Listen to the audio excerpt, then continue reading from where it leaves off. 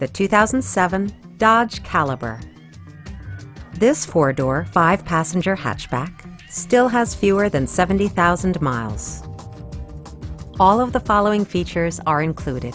Front bucket seats, rear wipers, and a split folding rear seat.